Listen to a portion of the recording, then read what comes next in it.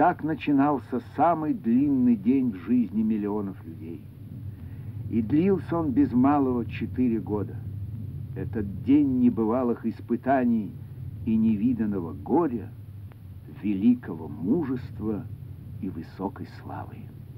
На самом трагическом для нас первом отрезке войны народ умел проявить и терпение, и выносливость, и мужество.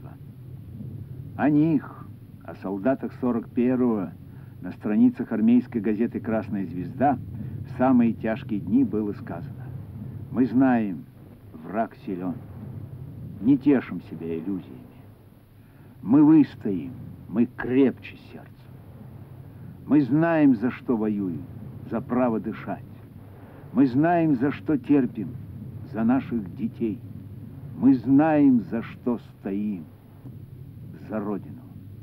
Мы сумеем пережить дурные сводки. Мы знаем, хорошие сводки впереди.